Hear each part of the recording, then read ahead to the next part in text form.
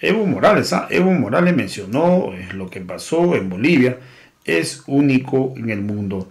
También Evo Morales se hizo recordar que Arturo Murillo cuando estuvo en su viaje a los Estados Unidos mencionó que no iba a entregar la banda presidencial al candidato del movimiento al socialismo. Murillo tenía otros planes, mencionó el expresidente Evo Morales. También, ¿ah? también eh, Evo Morales ha dicho claramente que en la última semana eh, Orellana, Orellana convocó a todos los militares. ¿eh? ¿Para qué? Para buscar de armar un grupo, para buscar de armar un grupo y hacer que Yanín Áñez no entregue el mando presidencial a Luis Arce Catacora. Lo que buscaba era que se entregue el cargo a una junta militar. El problema que tuvo Orellana es que más de un coronel y comandantes salieron al frente para decir que no iban a, acatar las decisiones que podía tomar Orellana. Entonces esto hizo, la verdad, que Orellana retrocediera en su afán de querer eh, que los militares asuman la presidencia eh, de Bolivia. Hoy las cosas siguen saliendo, siguen saliendo a la luz y hasta los últimos momentos Orellana y un grupo de militares no estaban de acuerdo que Luis Arce Catacora subiera el mando presidencial. ¿Con qué? Con argucias, pues buscando inventar las cosas, con algunas argucias que sacaban para buscar de que los militares pudieran apoyar a este grupo que querían tomar el mando en Bolivia. Vamos a escuchar las declaraciones que dio al respecto el expresidente Evo Morales. Después un gobierno dictatorial, hemos recuperado, ese es el mayor logro eh, decía también usted, hermano presidente, en otros lugares tantos años que no se pudo recuperar, pero en Bolivia hemos logrado esto. Eh, para hablar un poco de, la conciencia democrática del pueblo de Bolivia, hermano presidente, y todo el trabajo que usted ha hecho, eso lo reconocen todos, eh, para lograr la gran unidad, pero sobre todo para lograr volver a, nuevamente a la democracia verdadera, hermano presidente? Lo que pasó en Bolivia es algo único en el mundo. ¿Por qué digo algo único en el mundo? Porque hubo tantos golpes de Estado cuando hay movimientos políticos de izquierda o antiimperialistas surgen y democráticamente gana las elecciones para cambiar eh, el rumbo político, económico, programático de ese país.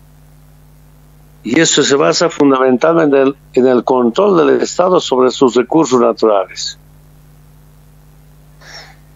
Y cuando empieza eso, vienen golpes de Estado de los imperios antes en tiempos de colonia, ni hablar. Pero después las repúblicas, por ejemplo en, en África, tanto golpe de Estado y hasta ahora después no pueden recuperar democráticamente. Si si hay actos democráticos, es solamente como un maquillaje a la democracia. ¿No? Ese acto democrático es para que gane la derecha y no la izquierda. ¿Recuerdan ustedes qué dijo Murillo desde Estados Unidos? Su último viaje. Vamos a entregar a la banda presidencial Coláñez al gobierno democráticamente electo, pero no va a ser al más les aseguro, y está grabado. Mira, los expresidentes, los ex cancilleres, tenemos una reunión, esas veces permanentemente una reunión. Y yo hice escuchar ese video, recién los ex cancilleres, ex presidentes se movilizaron. Es el mejor aporte que hice.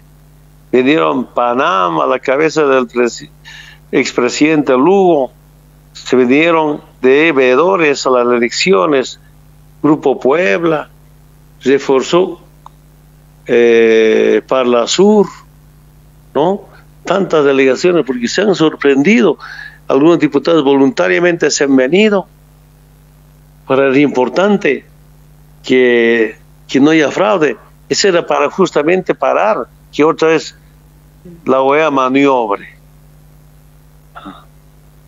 Entonces se imagina, ¿no? Esta lucha porque después de tanta inversión, yo diría, inversión económica, las transnacionales, sobre todo con tema de litio, pues, ¿cómo van a dejar soltar?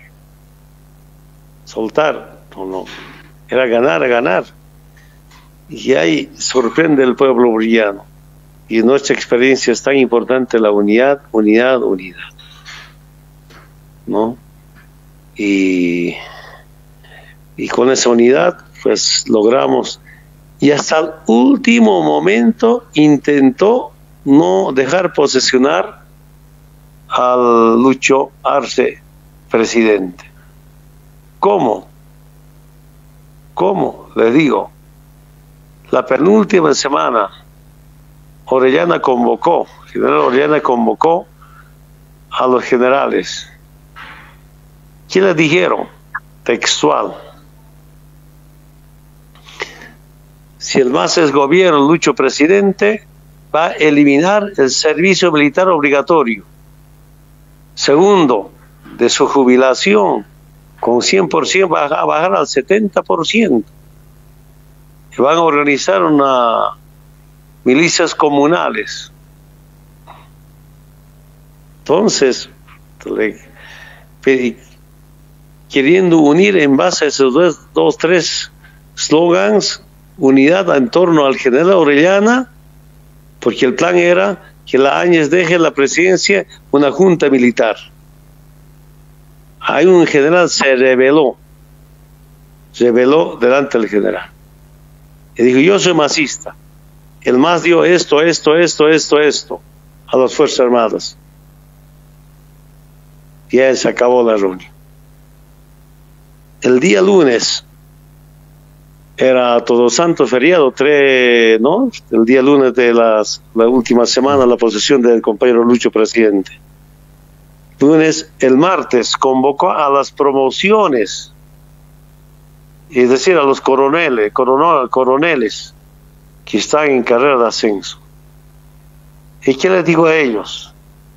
El más, el Lucho no va a respetar la institucionalidad, tampoco va a respetar la antigüedad y de paso ya los que plantearon a los generales, eso más. Y un coronel le salió al frente. Mi general, usted no respeta la institucionalidad.